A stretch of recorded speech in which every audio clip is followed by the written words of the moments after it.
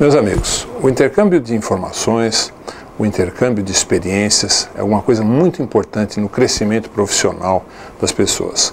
Preocupado com isso, nós aqui do Secov já há algum tempo temos tido uma relação bastante intensa com organizações similares no exterior, inclusive com universidades. Há alguns anos a gente tem recebido aqui no Brasil alunos da Columbia University e, e durante esse período nós vimos entabulando um processo de parceria entre a Universidade Secov e a Universidade de Columbia. O ano passado, nós conseguimos fazer a primeira missão brasileira para a Universidade de Colômbia, eh, composta de eh, aulas na Universidade de Colômbia e também visitas técnicas. E esse ano nós vamos ter a segunda eh, turma que deve também ir para a Columbia University. É, eu acho que é, um, é, uma, é uma, uma, um avanço muito importante dentro do, do, do, Secov, dentro do setor imobiliário.